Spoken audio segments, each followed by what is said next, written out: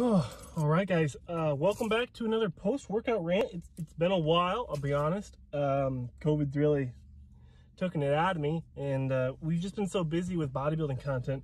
I haven't really been uh, focusing on on me, you know, like making content about me, um, Saunch, you know. So uh, we just finished up some chest training.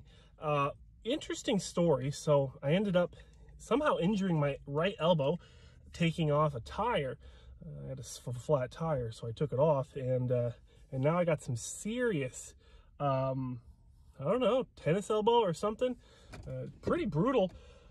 Really was affecting my workout today. Um, not ideal. Really not ideal. Um, quick plug. So uh, the channel's really been blowing up this last couple days. Uh, over 150 new subscribers uh, almost overnight. So thank you so much, everyone, all the new people. Uh, if you guys do not know, I am a sponsored athlete. Uh, I'm the Armed Forces Ambassador with Supps.com, a supplement distribution company. So they, it's kind of like GNC, but uh, locally owned, uh, family operated out of Wisconsin, where I'm from. Um, Saunch10 is the discount code if you guys want to check out anything there. Uh, I always wear their swag. Actually, everything I wear, I've made. So uh, if you guys want some custom Saunch made SUPS apparel, let me know.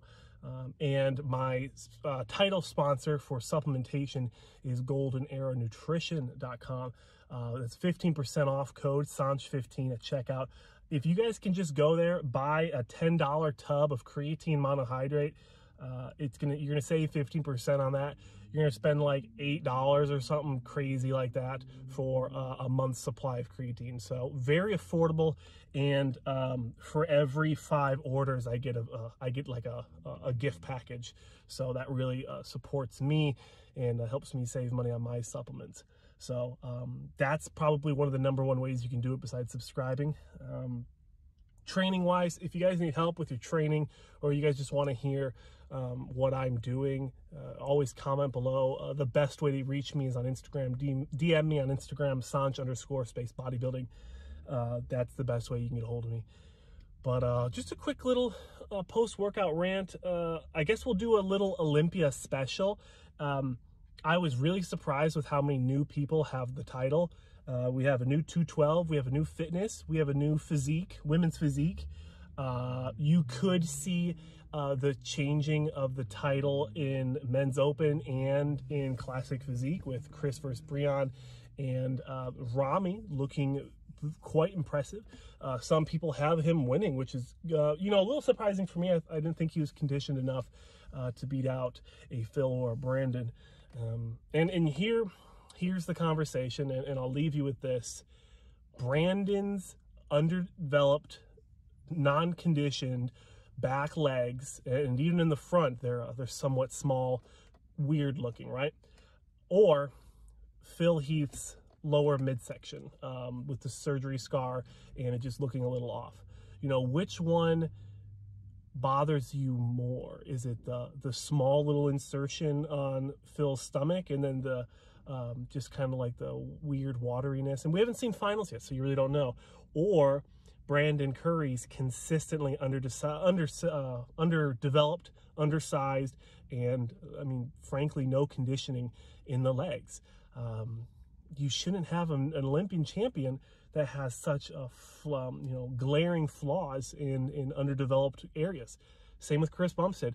He really doesn't have biceps uh, from the front or from the back. It's I mean, they're it's really not there. So I, I, I wanted to take your guys's, uh, at, I wanted to take you guys at your word and, and, and uh, think that he has biceps from the back shots, but goodness, it's really not there. But before you comment, the C-Bum fans, I was there. I was with you guys when he was first coming up. I was a huge fan. Um, and I'll give him this today. He put on some serious size in his lats. Uh, major improvements, major improvements in conditioning. Um, if he keeps the title, I won't be surprised. Um, but if Breon gets it, I won't be surprised either. They both look very good. Uh, and of course, with finals, everyone's going to look better. So keep that in mind. Do not count out uh, Rough Diesel. Uh, he's going to be uh, he's going to be really biting at the nip or biting at the the nip. Yeah, sure, that's it. uh, he's going to be uh, nipping at the bit for uh, getting in that top two. So um, that would be really surprising.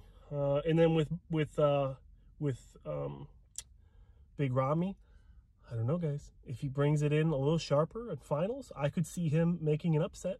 But uh, let me know in the comment sections below what you guys think. Uh, I hope you guys enjoyed a post-workout rant, uh, moderately ranty, more of just like an information and just putting out my thoughts. Uh, but I hope you guys enjoyed another episode. This is probably like season three or season four um, of post-workout rant. Probably season three, I think. So uh, I'll figure out what number I have to title this one. But I hope you guys enjoyed. Subscribe if you guys want to see more of this specific content. And I'll see you guys in the next video. Mm.